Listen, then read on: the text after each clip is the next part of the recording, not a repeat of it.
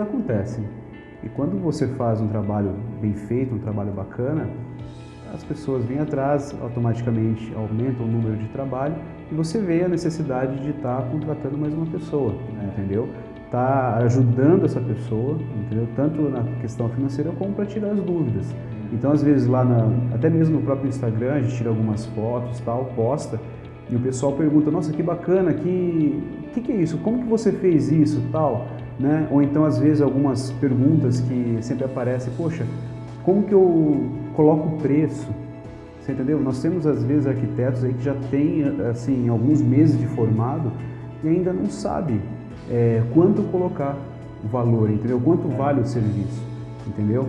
Então, assim, eu acabo Sim, explicando. E é importante, até mesmo para valorizar. Exatamente. Porque, infelizmente, tem pessoas que não sabem passar preço e acaba se desvalorizando. Exatamente. Porque tem, não é simplesmente você estar tá vendendo uma hora de, de trabalho, assim.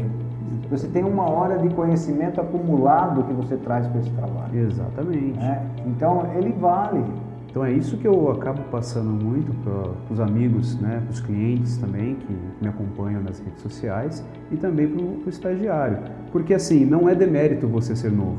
Não é porque você é novo que você vai ter que começar cobrando 15, 20, enfim, seja por porcentagem, seja por horas trabalhadas. Não é demérito. Se você presta um serviço bem feito, se você já tem clientes que estão satisfeitos com o seu serviço, é lógico, monte ali, veja é, a quantidade de trabalho que você tem, quanto que você vai demorar para fazer aquele tipo de serviço. Então assim, eu acabo passando muito isso para eles.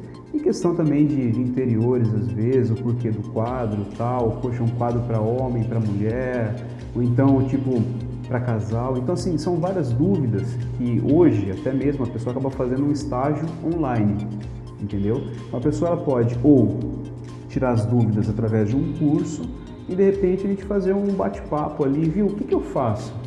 E o que eu não souber na hora, pode ter certeza que eu vou procurar. É até bom isso, porque é um copo pela metade. Né? É bom a gente sempre, se tiver dúvida, vai atrás, vai procurar e. Você vai aprender também com aquela Exatamente, pergunta. Né? Você não vai é só doar o seu conhecimento, você vai buscar. É também. ótimo isso. Eu acho que é muito bacana quando a pessoa acaba questionando alguma coisa e no momento não tem uma resposta, entendeu? Porque isso acontece muito na vida real. Essa é a questão do estágio. Muitas vezes o cliente acaba te perguntando uma coisa que não faz parte do seu dia a dia. Então você tem que correr atrás daquilo, entendeu? Para passar credibilidade e explicar aquilo para o cliente. Então é fundamental, sim.